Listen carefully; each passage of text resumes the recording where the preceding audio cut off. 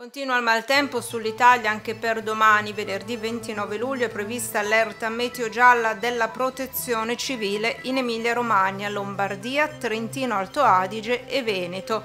Come spiegano i meteorologi, una nuova perturbazione proveniente dall'Atlantico porterà sulla nostra penisola piogge temporali sulle regioni settentrionali. Sono previste precipitazioni diffuse che potranno essere anche molto forti, con grandinate, fulmini e forti raffiche di vento.